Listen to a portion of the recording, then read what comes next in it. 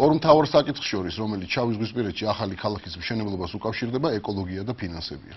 ეკოლოგიური პრობლემები, როგორც აღმოჩნდა საქართველოს ხელისუფლებას ნაკლებად ან სულაც არ აწუხებს. ფინანსები სხვა საქმეა. ლაზიკას მშენებლობისთვის საჭირო ხარჯთაღრიცხვა ჯერჯერობით არ არსებობს, თუმცა ცნობილია, რომ ქართული სახელმწიფო ბიუჯეტიდან საჭირო თანხის მხოლოდ 20%-ს გამოჰყოფს. დანარჩენი 80 რამდენიც არ უნდა იყოს ეს თანხა ინვესტორებზეა. როგორც აღმოჩნდა, პოტენციური ინვესტორები უკვე გამოჩნდნენ. ირანელი ბიზნესმენები.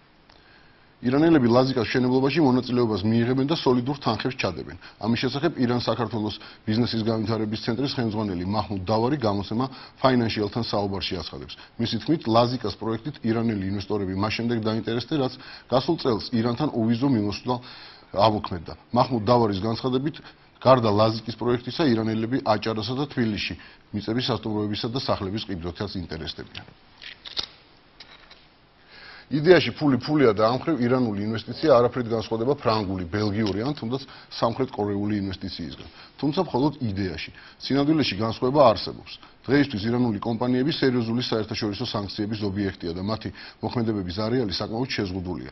ლაზიკა კი საქართველოს ხელისუფლების გადაწყვეტილებით განსაკუთრებული საკონსტიტუციო სტატუსის მქონე ქალაქი იქნება, სადაც განსხვავებული სამართლებრივი სისტემა იმოქმედებს. შესაბამისად არსებობს გარკვეული რისკი, რომ ირანული კომპანიები საქართველოს გავლით შეესწებიან საერთაშორისო ბიზნესში ჩართვას. ამ საკითხზე გაფრთხილება საქართველოს არც თუ დიდი ხნის წინ ამერიკიდანაც მიიღო.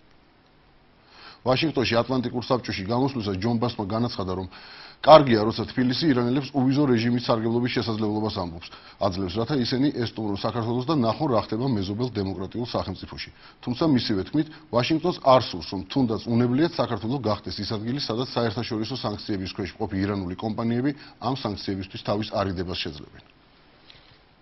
საქართველოს-ირანის ბოლოდროინდელი ურთიერთობები ამერიკაში დიდი ხანია გარკვეული უკმაყოფილების მიზეზია. სახელმწიფო დეპარტამენტის ყოველწლიურ ანგარიში, რომელიც საერთაშორისო ნარკოტრაფიკის საკითხებს ეხება, საქართველოს მიერ ირანისთვის სავიზო რეჟიმის გაუქმებას არალეგალური ნარკოტიკების ზრდას უკავშირებს.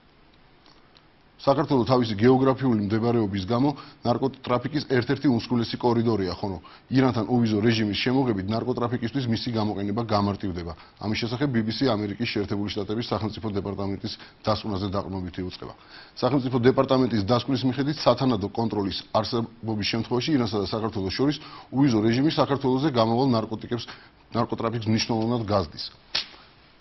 ავღანური ნარკოტიკების 40% ირანით გადის. ამ ნარკოტიკების კონტრაბანდა ირანის დასავლეთ საზღვარზე ჩრდილოეთ და სამხრეთ მიმართულებითაც მიმდინარეობს. საქართველოსა და ირანს შორის გამარტებული მიმოსვლა ნარკოტიკებით მოვაჭრეებს ახალი გზის გახსნის ტოლფასია აღნიშნულია დასკვნაში.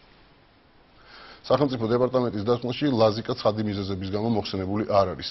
ნარკოტრაფიკის ცენტრალურ კვანძზე ჯერჯერობით ფოთის პორტი ითვლება.